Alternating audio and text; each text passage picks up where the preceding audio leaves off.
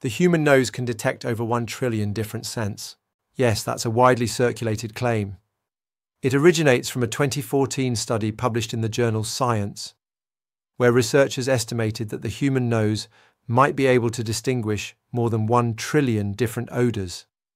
This number is vastly higher than earlier estimates, which suggested we could detect only about 10,000 scents. However, it's important to note that this finding has been debated.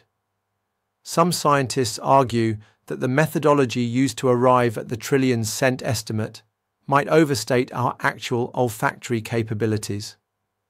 The number depends heavily on how you define a different scent and how the human brain perceives mixtures of odour molecules. So, while it's an exciting and often quoted fact, it's more accurate to say research suggests humans might be capable of detecting over a trillion different scents, though this is still debated among scientists.